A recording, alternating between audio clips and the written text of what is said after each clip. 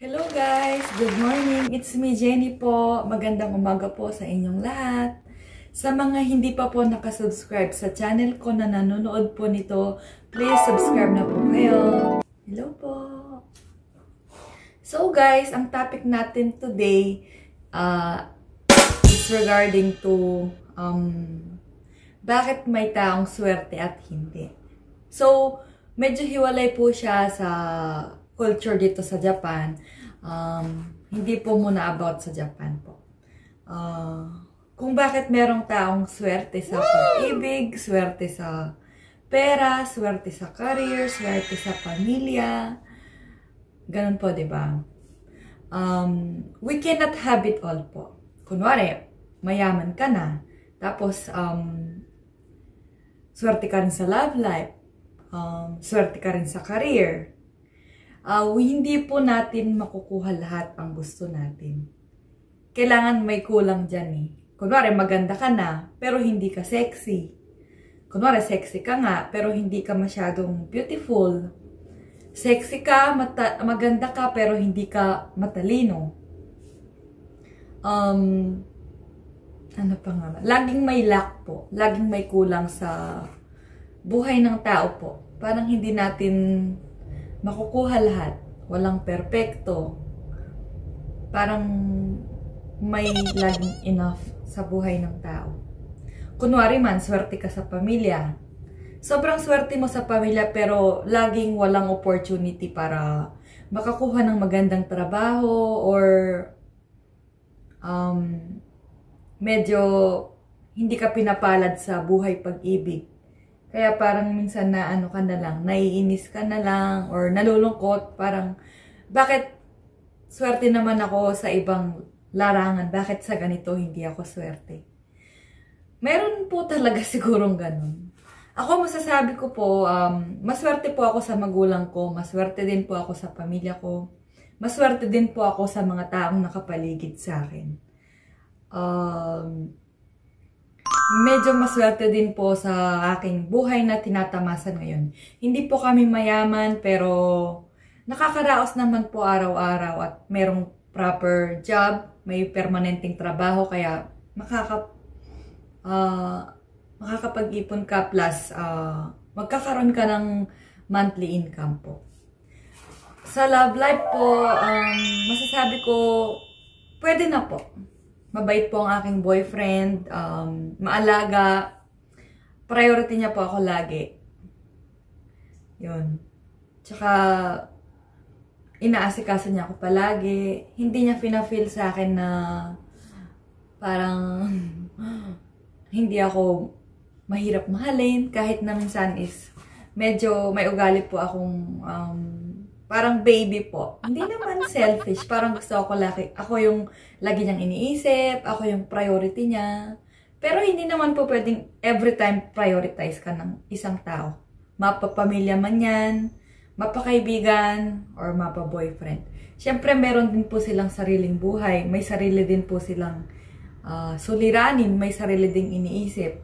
Kaya, di naman every time, ikaw lang ang focus nila. So, uh, okay lang, Jen. Okay lang kahit hindi ka focus ng boyfriend mo. Dahil, syempre, ginagawa niya, man, niya naman yung best niya para in case sa uh, future namin kung magsama man kami. So, nagsisipag siya ng todo para uh, pag nagsama kami is mas better, mas mapagaan yung pagsasama namin na hindi kami uh, magkukulang or kukulangan ng budget. Kaya work siya ng todo. Yes. So, ang aking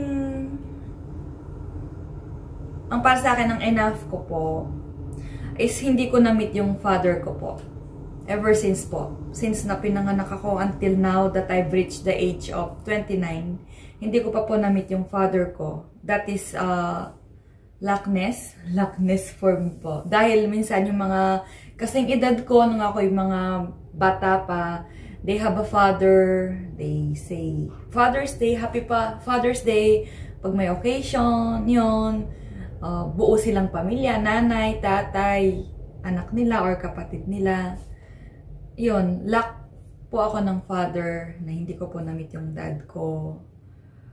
Pero pinuna naman po ng mother ko yung lahat ng pagkukulang sa puso ko. Kahit wala akong dad na nakilala, ginawa niya yung best niya para ma-fulfill yung uh, pangangailangan ko po. Then, ano pa nga ba? Isa din po yung reason na kulang sa akin is, uh, kulang po ako sa, maybe sa pakikisama po. Pakikisama. Mga barka-barkada. Hindi po ako mabarkadang tao kasi medyo private person po ako. Hindi po ako madaling magtiwala sa tao. Kaya hindi ko madaling i-open yung sarili ko. Unlike po sa mga kasing edad ko na mga marami silang barkada, masaya sila, uh, weekly or monthly, nagpa-plan sila ng mga lakad, mga bakasyon, mga outing. Ako po halos um, one in, a, one in one po mga kaibigan ko. Ako at saka siya lang magkikita ganun po. Walang group of friends po. Like, more than 3, 4, 5, or 6. Wala po. Never ko pong na-experience yun. Siguro dati sa Pilipinas po nung high school po.